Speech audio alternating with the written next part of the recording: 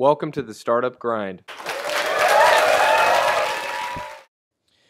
Where does how does one develop creativity? Steve Jobs called you a very creative person. Uh, your work is is an example of that as well. But is it innate? Is it learned? How do you develop it? Is it a muscle that, that you can work on? Tell us you know, about y- it. you can you can do both. So I, I think obviously uh, ability and willingness to think outside the box and to be genuinely inventive, where just uh, you're imaginative and new ideas occur to you.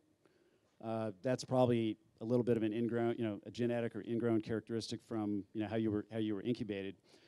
Uh, beyond that, uh, you you can develop the skill to be more willing to bring your ideas forward. I think a lot of people probably have ideas. Uh, you know, for example, there, I bet there were Chinese farmers 600 years ago that thought it would be a great idea to have a maritime economy, a huge navy, and go see what was on the other side of the oceans.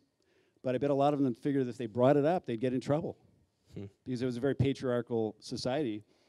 And if if that society had been more like uh, Europe, then we'd all be speaking Chinese right now.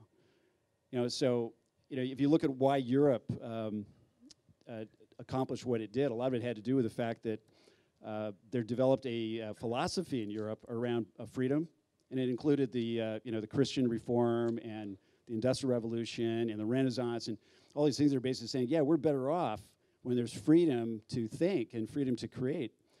And you know, you, you know, we we're very lucky to be here in Silicon Valley, where it's the best place in the world for that, in, being, in terms of being supportive.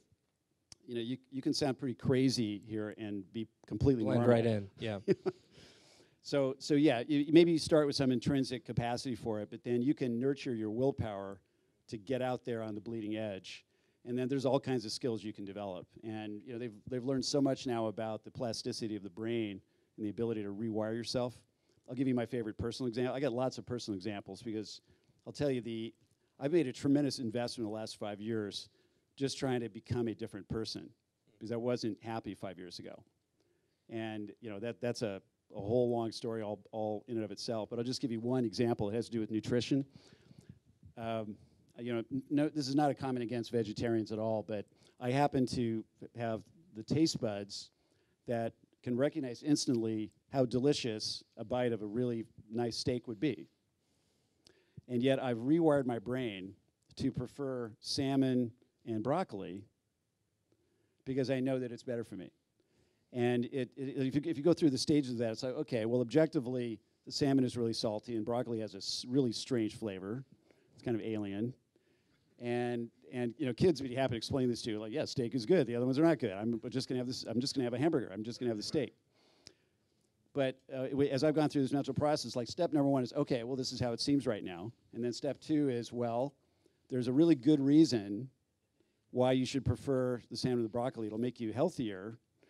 Okay, and, and then you start doing it, and it starts to become a habit. And even though the non cognitive part of your brain is still giving you the same information, yeah, the steak smells better. The, your, the cognitive side of your brain is saying, no, no, no, this is better. And you believe it.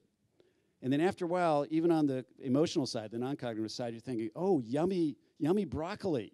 Oh, this is great. I get to have salmon. And seriously, it, it really, this truly happened with me. And it happened in a bunch of other ways. So you, you, there's a lot you can do to rewire yourself. It sounds like a reality distortion field or something. It's the broccoli distortion field.